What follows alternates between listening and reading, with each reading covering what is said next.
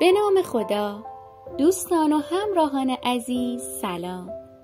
به کانال راوی شب خوش اومدید دوباره شبی دیگر و قصه ای از قصه های جذاب و پرماجرای هزار و یک شب. شهرزاد قصه گوی ما شب 94 قصه گویش را اینگونه آغاز کرد. و اما ای سلطان والا تبار و ای همسر خرد پیشه حکمت شعار در آغاز شبی دیگر و در ادامه داستان بعد از گذشته یک شب از تعریف ماجرای فرح بخش عروسی برزین و هلنا باید قدری به عقب برگردیم هم از نظر زمان و هم از نظر مکان. یعنی از دربار شاد و پرهیاهو و سرگرم به جشن عروسی برزین و هلنا به آتن برمیگردیم. من باید همان صحنه ای را در خاطر سلطان پرمهر خود دوباره مجسم کنم که ملکه بلایا و آفتها در مقابل پسرش پادشاه الکس دوم و نوهش و دیگر حاضران گرد سفیدی از درون محفظه انگشتریش درون لیوان آب ریخت و چون این جمله ای گفت. حاضرم بمیرم اما ننگ و خفت در قصر زندانی شدن و توهین از سوی فرزندم را نپذیرم.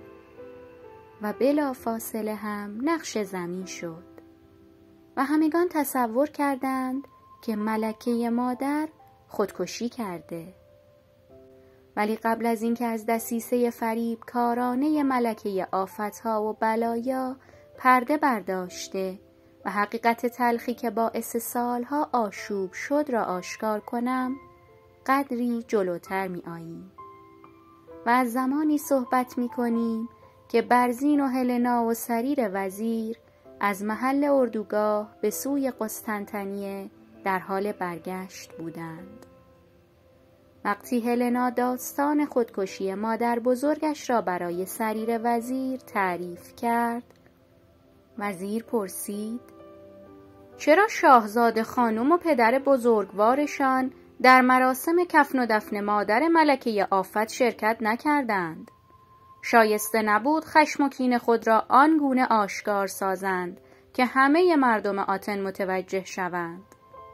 من به عنوان وزیری که بیشتر از پنجاه سال عمر خود را در دربار سپری کرده ام تصور نمی کنم که انسانی جاه طلب چون مادر بزرگ شما که به قول خودش پنجاه سال طعم قدرت را چشیده بود آنگونه و براحتی دست از جان خود بشوید. هلنا به میان حرف سریر پرید و گفت یعنی منظور شما این است که مادر بزرگم به آن شکل من و پدرم را فریب داده و تدارک توطعه دیگری را می بیند؟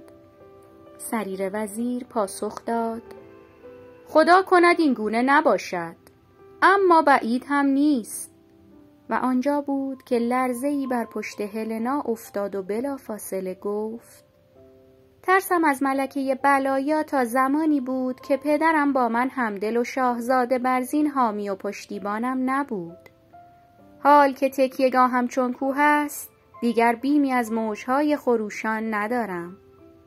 امیدوارم ملکه آفتها مرده باشد و الا این بار با دستهای خود خفش می کنم و اما اکنون خدمت سرور عزیزم عرض می کنم ملکه آفتها با آن صحن سازی موزیانه که قبلا تعریف کردم خود را به مردن زد و چون مأموران پیکرش را به قصر بردند و مشاور افریتش را صدا زدند و بر سرکوبان گفتند بیا که بی ملکه و بی صاحب شدیم عجوزه افریت و همدم همیشگی ملکه آمد و گفت فعلا بروید بیرون تا سر روی سینه ملکه محبوب و صاحب خود بگذارم.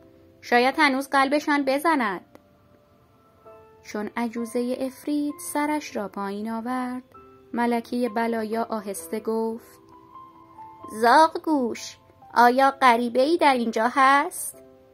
و چون افریته زاغ گوش نام همان گونه آهسته پاسخ داد نه ملکه بزرگوار اکنون اینجا همه از خودمان هستند؟ ملکه آفتها چشمانش را باز کرد و نفس عمیقی کشید. نشست و گفت هرچه سریعتر تابوتی بیاورید و شکلی ساختگی از من بسازید و درون تابوت بگذارید و یک مراسم قلابی پر از شیون ترتیب دهید و تابوت را دفن کنید. من هم همین امشب در تاریکی به همراه ندیمه زاغگوش به جایی نامعلوم می‌روم. ضمنا هر دستوری که ندیمه زاغگوش از طرف من آورد مو به مو باید اجرا شود. شما خودتان را آماده یک قتل عام در درون قصر بنمایید. زیرا اگر حکومت همچنان در دست پسر نالایقم باشد کشور یونان برباد خواهد رفت. یعنی دیگر همین باقی مانده که یونان باستان مستعمره شامی ها و سامی ها شود. نه تا من زنده ام هرگز اجازه نخواهم داد سواران ترک خاک مملکتم را به توبره کشند و شامی های سامی تبار دمار از روزگار مردمم برآورند. من حاضر نیستم روح همسر درگذشتم الکس اول آزرده و جسمش در زیر خاک بلرزد. شبانه ملکه آفات به خانه متروکه ندیمه خود رفت و اطرافیان با مراسمی ساختگی و مسخره یک تابوت خالی را زیر خاک کردند و چند روزی به دروغ عزاداری نمودند. چون شاهزاده هلنا به اتفاق برزین از آتن خارج شد یکی دو بار ملکه آفتها با گوش عجوزه و حاجب مخصوص دربار که از دست نشاندگان ملکه بود به مشورت نشستند. چون ملکه آفتها پیشنهاد داد شبی وارد خوابگاه سلطان الکس دوم شوند و وی را در بستر بکشند. حاجب مخصوص که در سمت وزیر دربار خدمت می کرد گفت این کار به نظر من درست نیست. اگر بخواهیم پادشاه را بکشیم باید حتما شاهزاده هلنای ولیعهد را هم مثل پدرش زیر خاک بفرستیم. حالان که اکنون وی در دربار قسطنطنیه است. و اگر بشنود و رومی ها را تحریک کند و همراه خود بیاورد هم مملکت به آشوب کشیده می شود و هم با شرمندگی عرض کنم که مردم شاهزاده هلنا را بیشتر از ملکه مادر یعنی شما که عزیز و محترم ما در این جمع هستید دوست دارند. پس باید قدری حوصله به خرج دهیم. و ملکه مکرم به وسیله ایادی خود سران قوم و فرمانداران ایالات مختلف را به سوی خود جلب کنند و بعد به نوعی اعلی حضرت الکس را به مسافرت خارج از یونان بفرستیم و در قیاب پادشاه و شاهزاده دست به کار شویم. بعد از سفر الکس به قسطنطنیه چون خبر عروسی شاهزاده هلنا و برزین و همچنین پیمان مودت و آشتی میان سه کشور روم و یونان و شام به یونان رسید. زاگوش عجوزه به ملکه آفتها گفت حال هنگام پیاده کردن نقشه ملکه مکرم رسیده. ملکه گفت پس هرچه زودتر حاجب مخصوص را به حضور من در همین خانه متروکه بیاورید. حاجب مخصوص خائن به نزد ملکه بلایا رفت و ملکه به او گفت هر کس را که می‌توانی با سکه های زر بخر و کالسکه و کاروانی را شبانه به بیرون دروازه آتن بفرست. من فردا صبح زود خودم را به بیرون شهر و آن کالسکه میرسانم و شما بعدش مثلا به استقبال من خواهید آمد و مرا با احترام وارد تالار بزرگ قصر سلطنتی آتن خواهید کرد. آری ای سلطان با اقتدار. برنامه ریخته شده اجرا شد و نزدیک ظهر بود که مردم با حیرت و تعجب دیدند ملکه متوفا که حدود سه ماه و نیم از مرگش میگذشت درون کالسکه سلطنتی نشسته و برای مردم دست تکان می دهد.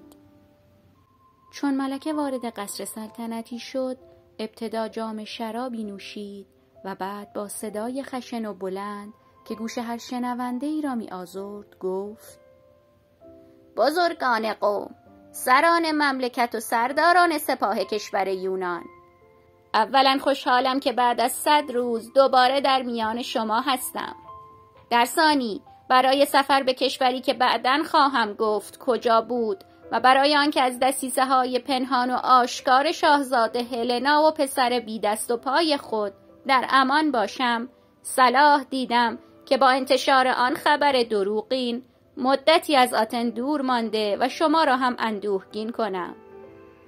اما خوشبختانه اکنون شما می‌بینید که ملک ماریا زنده است و در مقابل شما ایستاده و سرگرم سخن گفتن با شماست. ولی از زمانی که هلنای جاه طلب یونان فروش به سن رشد رسید چنان فرزند ساده دل مرا در مقام پادشاه خام کرد که من احساس خطر کردم. و ناگزیر شدم برای دریافت کمک به نزد سلطان کشوری که گفتم بعدا نام ایشان را اعلام می کنم سفر کنم. که خوشبختانه سپاه هفتاد هزار نفری کمکی ایشان برای حملات احتمالی اجانب در راه است. اما همانطور که حتما شنیده اید هلنا پدرش را فریب داده و آن پدر ساده دل هم سرزمین کهنسال و باستانی من را دو دستی تقدیم گرگین پاشا امپراتور روم شرقی نموده. در این هنگام فریاد خشمگینانه هزاران نفر در صحن تالار قصر سلطنتی آتن با این عبارت پیچید که مرگ بر گرگین پاشا الکس دوم معزول باید گردد و هلنا معدوم. پادشاه سرزمین یونان ملکه با تجربه ماریای محبوب است. و چون قصه به دینجا رسید باز هم به سان شبهای قبل شهرزاد لب از سخن فرو بست زیرا سلطانش به خواب بود. لذا او هم سر آسوده بر بالش نهاد و دیدگانش را بست. پایان شب نود و چهارم.